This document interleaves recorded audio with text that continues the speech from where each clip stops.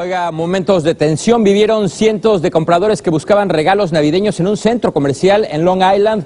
Cuando escucharon disparos, muchos corrieron despavoridos, otros se escondieron pensando que algún pistolero había entrado al lugar con el objetivo de perpetrar una masacre, pero afortunadamente solo se trataba de un asalto. María Eugenia Payán nos relata lo ocurrido.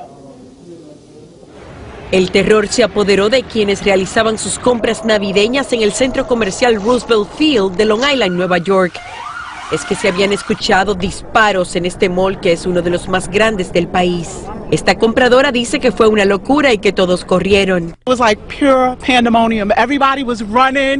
Alguien gritó que había un hombre armado, dijo Stacy Weiser. Muchos huyeron hacia las salidas del centro comercial, otros se escondieron en las tiendas. Cerramos las puertas y corrimos hacia el baño en la parte trasera de la tienda y nos agachamos hasta que llegó la policía, dijo la propietaria de un negocio.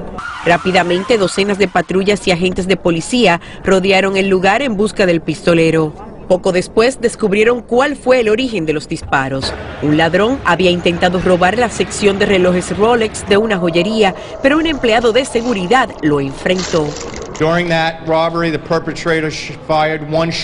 Este funcionario del condado Nassau explicó que durante la confrontación al asaltante se le escapó un disparo que hirió a un empleado de 67 años en un hombro.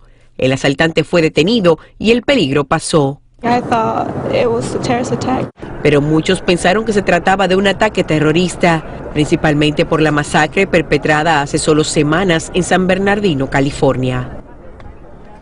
Todos los centros educativos en los alrededores del centro comercial fueron cerrados hasta que se confirmó que no se trataba de un atentado terrorista. El empleado que recibió el balazo se encuentra en condición estable, mientras que el asaltante no fue identificado de inmediato, pero la policía cree que actuó solo.